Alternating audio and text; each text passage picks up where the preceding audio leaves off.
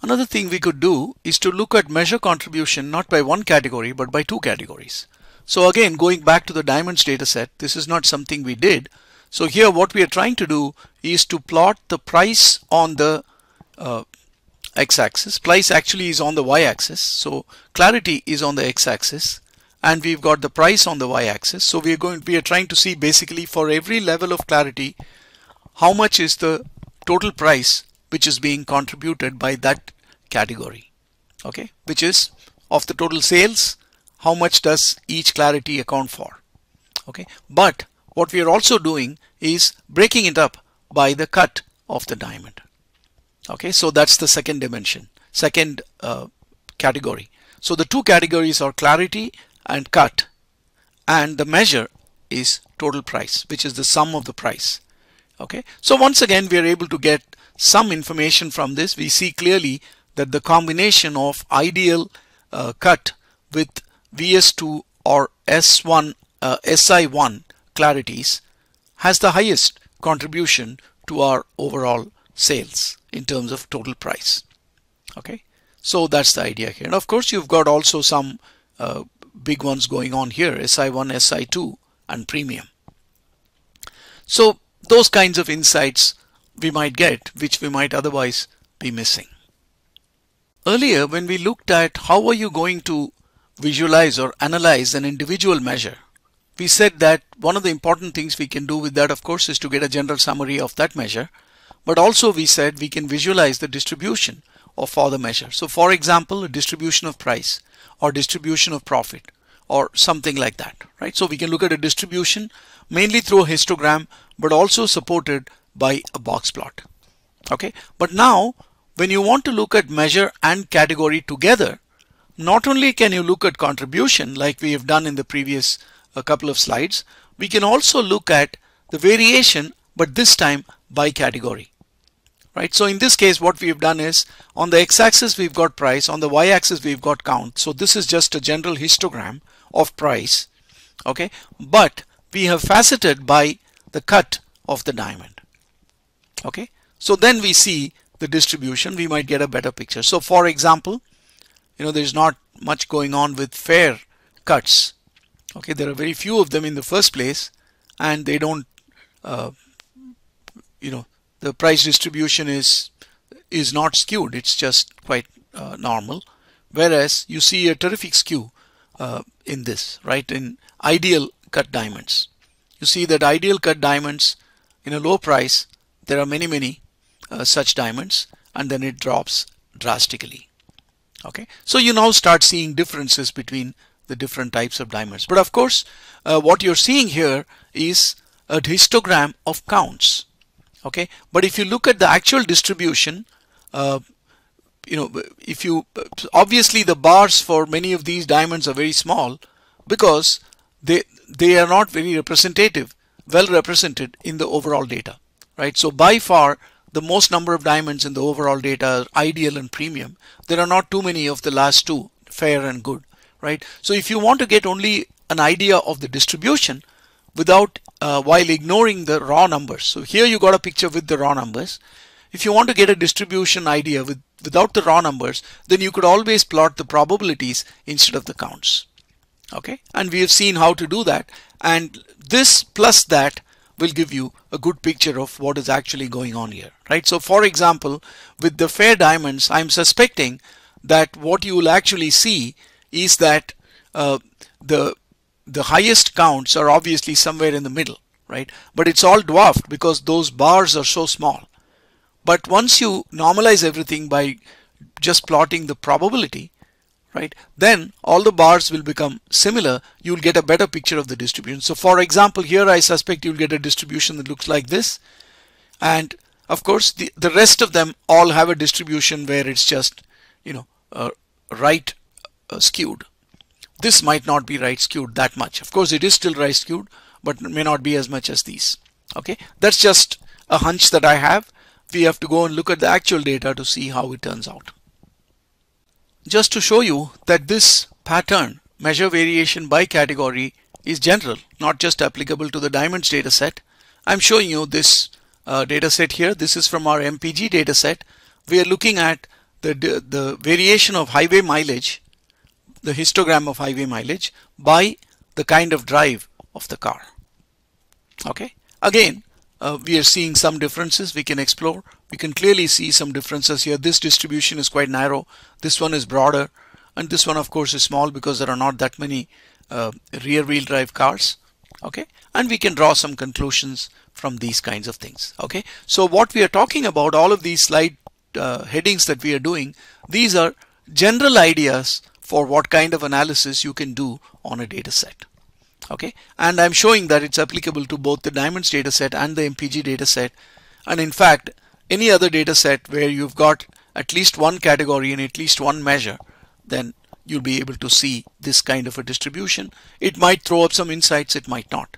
But as explorers we just have to do that.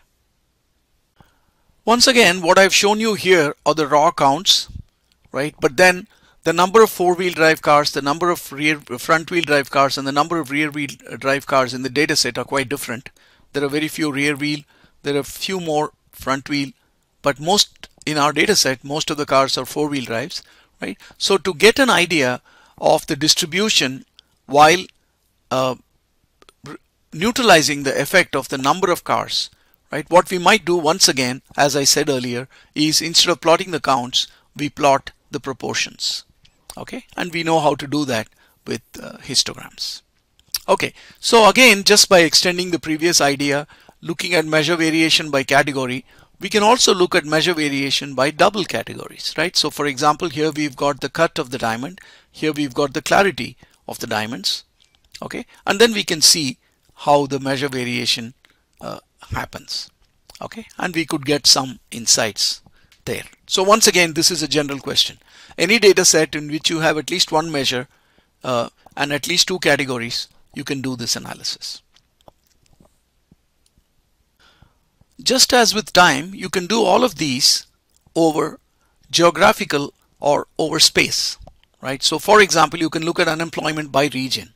You can look at website visits by state or city or whatever, uh, you know, uh, geo concept you can think about. Or you can look at bike rentals by origin station right? So whenever you have a variable that represents a measure and another variable in the data set or in a related data set that has something about the location where it's happening then you can do this kind of analysis right? You can count how many uh, of something is happening there or uh, you know how that particular thing is distributed for a particular region. All of those things you can do right? So again this is a general thing. If you have a measure and you have a you have some column with a location you can do different analysis by trying to relate the two of them. Okay? And again we can look at measure contribution by category and space. Right? So by category and space what we mean is something like this. Sales of products by region. Right? So let's say your company has five products. We can and of course the let's say the company also has some four regions then we can look at the sales for each product region combination. Okay?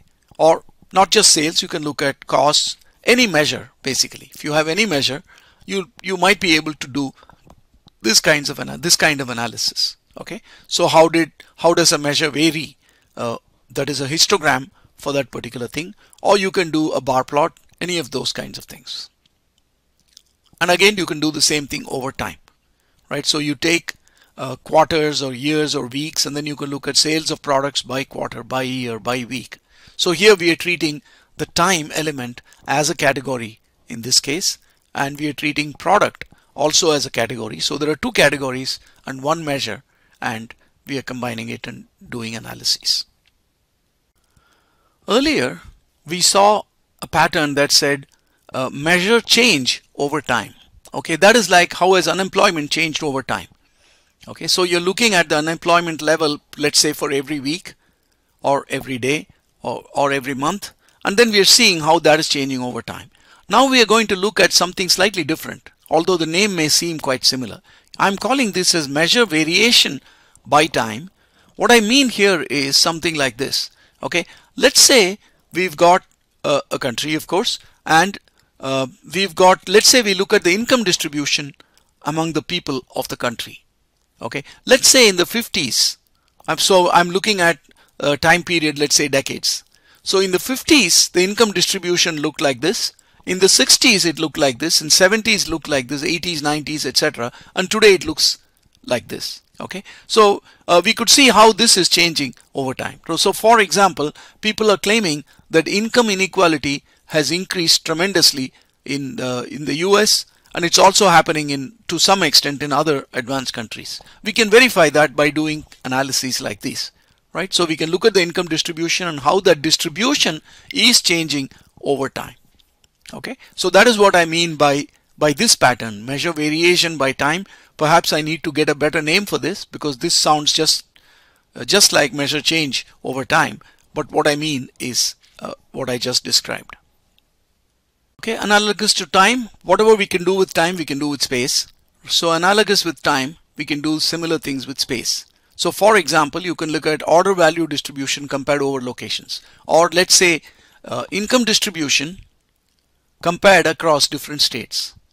Okay, so for example, income distribution in New Jersey versus income distribution, let's say in Wyoming or income distribution in California, etc. Okay, so that comparison can also lead uh, us to certain insights.